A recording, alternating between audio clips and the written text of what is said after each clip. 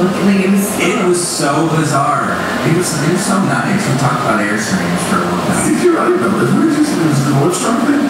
Uh, kind of, yeah. It was uh, it was the 10-2 anniversary a year ago. Oh, The okay. 10-2 party. Yeah. Which is the cancer Right. cancer free day. And he was in the midst of doing this role, and we were just, oh, we got an airstream. Is your Billy just like that? Like you would think? He's just, yeah. He was talking about living in a van. Yeah. You know, he just, He's odd.